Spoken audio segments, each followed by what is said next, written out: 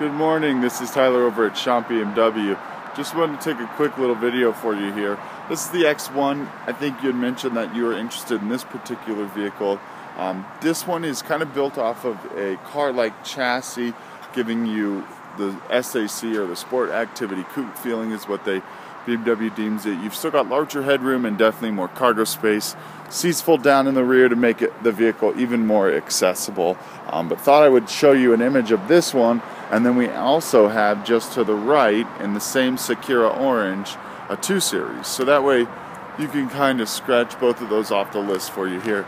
Um, this is definitely a beautiful car. By all means, uh, a fun sporting drive definitely a little different than the X or and then the X1. You're going to always have the BMW xDrive technology, so it'll be perfect in the snow, summer or in the wintertime, pardon me, but not as much storage in this car, obviously. So please let us know if we can be of assistance in your search. Thanks.